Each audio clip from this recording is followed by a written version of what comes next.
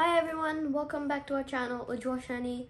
Today we're going to be talking about vitamin D and we'll learn lots of things about it. Our information is true, so get ready to get some knowledge today. So now we know what vitamin D is, but how does it help us? Basically, vitamin D helps us in the absorption of calcium, helps in the growth of cells. It's really good for the strength of your bones and the strength of your muscle. It gives you a really good mental immune system. And all these things just come from a simple thing like a vitamin D. So now we know what it helps in. But let's talk about where we can get it from. Well, we can get it from the natural way, which is the sun. That's probably the most common way. You can also get it from food. But here's a catch. You can't stay too much in the sun or you'll get new problems. Instead, you should stay about 10 to 30 minutes each each week, once or twice. Don't want to stay too much. Or you could eat foods like dairy products, mushroom, meat. They all contain a good amount of vitamin D. We can get D vitamin from the natural source, which is the sun. But let me tell you something. If you're going to stay out there in the sun for a lot longer than 30 minutes, you should apply sunscreen and wear a hat. This will make you sun smart. The reason why you don't want to be out there for so long is because it will cause new problems for you. So, it's good if you stay from 10 a.m. to 3 p.m. That's when the UV is high. But here's the thing, don't stay out too long. The UV is high in that range, so you don't want to be out there for long.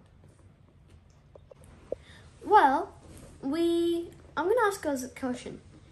Can our body store D vitamin? Well, here's the answer. Yes, it can. It can store up to two months. In that two month period, your body can store all the D vitamin, D vitamin it needs.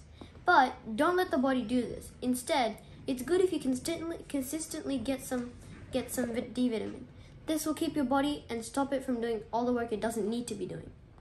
But if you do get too much of it, so don't take too much of it, you'll have problems like vomiting, you'll have like nausea, you'll have kidney problems, which we all don't want. So, consistency matters, but don't take too much. Let's talk about supplements of vitamin D. Well, you can have supplements, but you should only take supplements in an urgent case. It's good if you just get it from sun, food, stuff like that. Because if you get supplements, your doctor should definitely know about this because you don't know how much to take, when to take, stuff like this. So if you can tell a doctor when you're taking supplements, it'll help you in everything. Because D vitamin especially can cause more problems. Because like unlike other vitamins, other vitamins get washed away with the water, but D vitamin doesn't. It stays there. So make sure if you tell a doctor about if you're having supplements and only take them in urgent cases, unless just use the sun or food to get D vitamin. Here's the most important information. If you learned something new, like, share, and subscribe.